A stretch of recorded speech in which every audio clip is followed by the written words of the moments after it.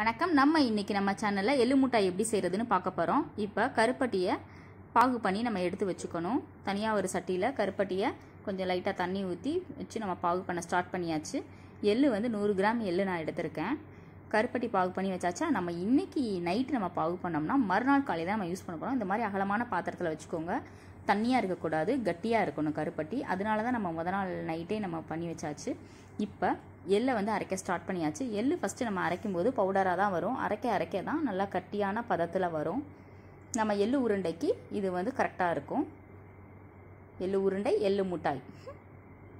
இப்போ பாருங்கள் முத நாள் நைட்டு வச்சு வச்சது. இப்போ நல்லா கட்டி ஆயிடுச்சா இப்போ பாருங்கள் மிக்சியில் பாருங்கள் நம்ம அது நல்லா அரைக்க அரைக்க நல்லா ஒரு அந்த எள்ளு உருண்டைக்கு எள்ளு மிட்டாய்க்கு தேவையான இதுக்கு வந்தாச்சு. இப்போ இந்த உருண்டை வந்து பத்து இதுக்கு வரும். இந்த பெரிய உருண்டை வந்து பத்து ஸ்மால் சைஸ் உருண்டைக்கு வரும். இப்போ இதில் நம்ம பாகு போட ஸ்டார்ட் பண்ணியாச்சு. கருப்பட்டி பாகு போட்ட ஸ்டார்ட் பண்ணியாச்சு. கருப்பட்டி பாகு போட்டோன்னே எ இலகும்.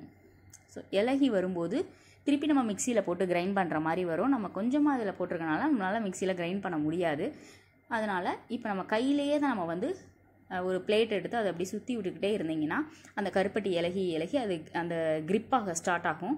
நம்ம இன்றைக்கி அதை வந்து உருண்டை பிடிச்சி வச்சோம்னா இன்றைக்கி ஈவினிங் வச்சோம்னா மறுநாள் காலையில் எடுத்து சாப்பிட்ற மாதிரி இருக்கும்.